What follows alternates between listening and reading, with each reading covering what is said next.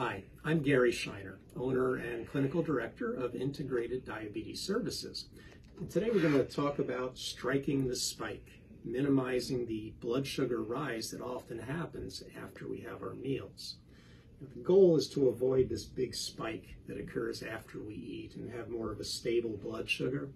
These big spikes are a problem for many reasons. It certainly keeps us from feeling good and performing our best on a day in, day out basis.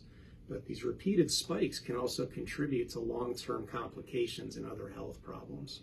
So, how do we manage these blood sugars after meals? There's a number of ways to accomplish it.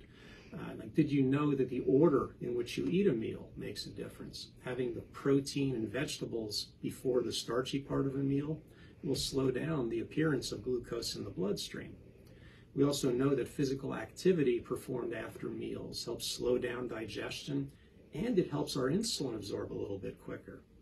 And speaking of quicker insulin, it's in, in, good to know that we now have faster acting insulins on the market that start working and peak a little bit earlier than the traditional Humalog, Novolog, and Apidras that we've been using for many years. So there's probably about a dozen other ways, uh, effective strategies for managing after meal blood sugar spikes. So if you'd like to learn more, visit type1university.com. There's a course called Strike the Spike that you can watch, as well as about a dozen other courses on different topics in diabetes management.